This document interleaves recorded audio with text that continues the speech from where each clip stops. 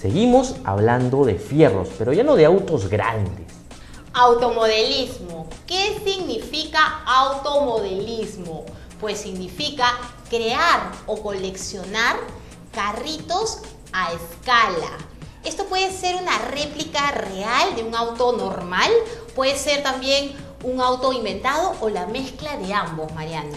Hay muchos coleccionistas, muchos creadores aquí en nuestro país, además. Y una pasión que une además familias, ¿no? Porque puedes tener al padre que ama los fierros y al hijo que también está ahí, como el caso de la familia de Edgar, como el caso de amigos chilenos que también vinieron a participar en este campeonato. Rocío Mayurí estuvo en el Autódromo de Magdalena cubriendo este gran espectáculo.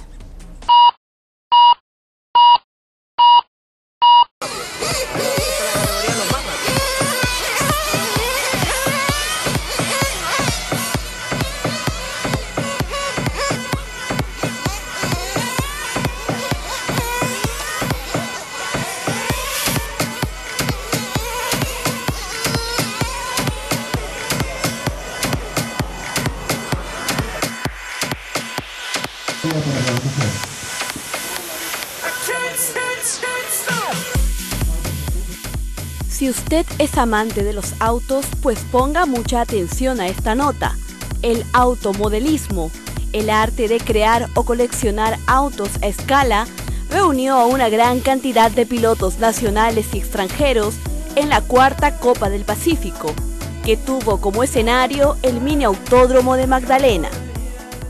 Eh, llevo 12 años, eh, partí con todo terreno, con autos buggy, truggy y después me tiré a lo que es pista, lo que es on-road.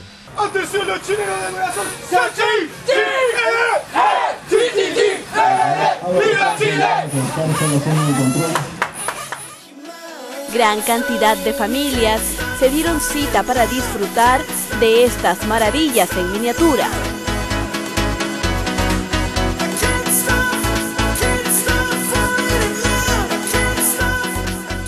Los motores rugían, los pilotos se preparaban y los diligentes mecánicos afinaban hasta el más mínimo detalle.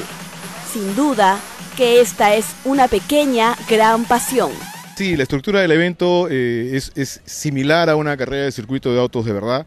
Eh, tenemos una zona de pits y como escuchaste, eh, dentro del procedimiento de clasificación es obligatorio entrar a pits a reabastecer. Las categorías son por el auto, los corredores, tenemos un, eh, par de chicos jóvenes, menores de, 15 años, y también tenemos personas mayores. Es un eh, deporte para todas las edades, no, no, hay, no hay ninguna diferencia. Es más, los chicos jóvenes tienen más ventaja porque tienen los reflejos más frescos. Que no distingue sexo ni edad y que pasa incluso de generación en generación.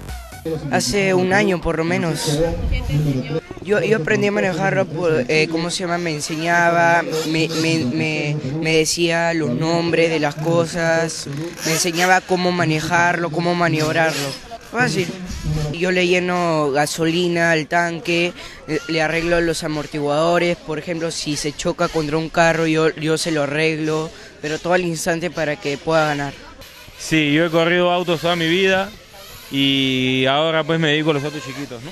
es como para toda la edad, ¿no? Es, un deporte, es un hobby muy bonito que lo puede practicar eh, hijo y papá, o papá y hijo, como lo quieran ver. Y no, es cuestión de, decisión y que vengan nomás a comenzar a practicar y a correr. Aprendamos un poquito de estas increíbles miniaturas.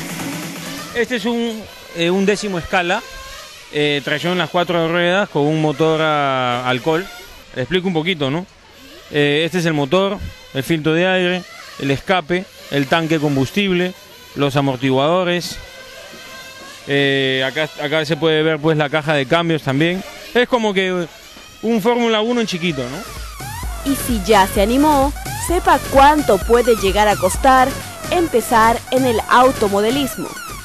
Eh, para principiantes, en los kits Ready to Run tenemos desde 700 dólares, eh, tanto en autos, uno en 10, como en buggies, también uno en 8.